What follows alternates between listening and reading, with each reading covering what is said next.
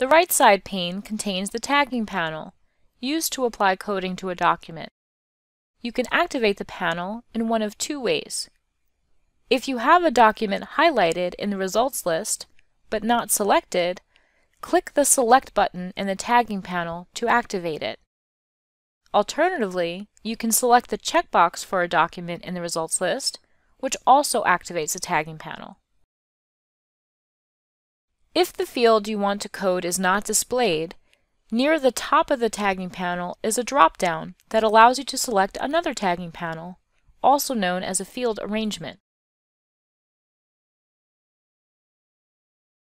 Make your coding selections and click the Save button to save the coding and remain on the current document, or click Save and Next to save the coding and move to the next document in the results list, which is then selected automatically. Notice the red X icon on the lower left-hand side of the tagging panel. This indicates that there is a tagging rule applied to this arrangement. Tagging rules can be set so that a field must be tagged. For example, the responsive field must have a value for you to be able to save the tagging. Or the rule can be conditional. For example, if a document is marked privileged, then you must also enter a privileged comment. To check which fields have tagging rules applied, click the red X icon. Now we can hover over the X to the left of responsiveness for more information about the tagging rule.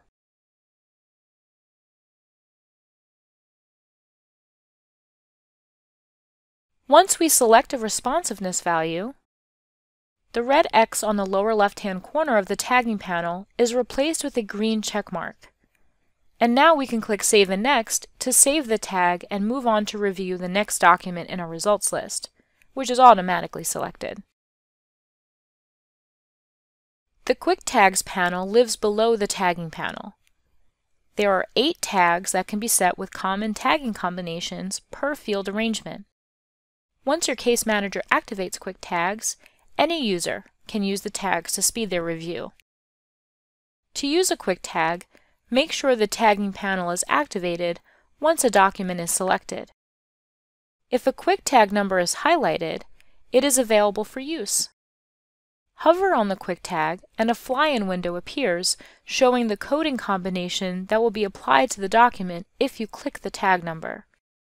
Note that if you do click the number, it will apply the quick tag and automatically save and move you to the next document.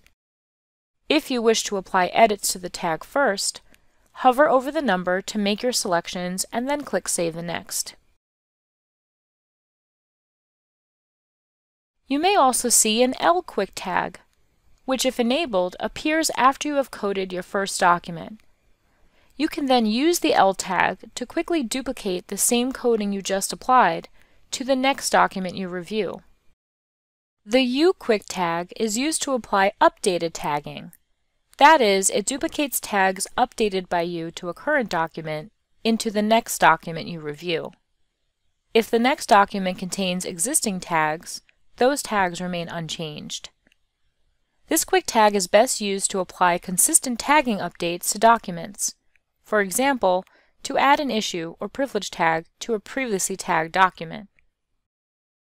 If you are not using the tagging panel, you can click the arrow at the top right of the panel to collapse it.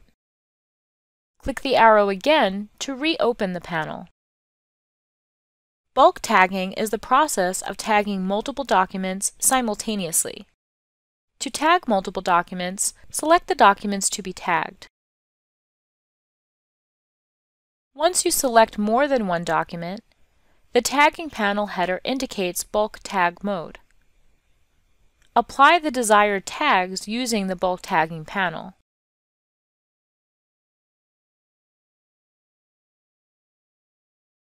You will notice that tri-state mode is activated for single value, multi-value, and hierarchy fields. Tri-state mode helps you understand whether field values will be tagged, removed, or left unchanged when tags are saved using bulk tagging. Selected means that the value will be set for all selected items. Not selected means value will be cleared for all selected items, and grayed out means that existing values will not be changed. Click repeatedly on a field value to move between the available modes and select your option.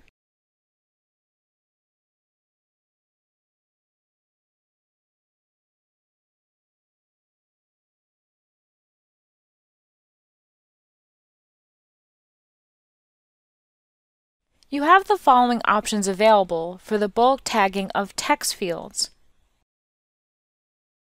Leave existing text unchanged. Apply tags to single value, multi-value, or hierarchy fields using the bulk tagging panel, and then save, leaving any text fields unchanged, or empty. If text existed in any of the text fields for any of the selected documents, that pre-existing text is left unchanged. Replace existing text. Enter text into a text field using the bulk tagging panel and then save. Any text existing in that field for any of the selected documents is replaced now with the new text. Intentionally delete text. To intentionally delete text in a text field for all selected documents, click once into the text field using the bulk tagging panel and then save. Any existing text in the text field for any of the selected documents will be deleted.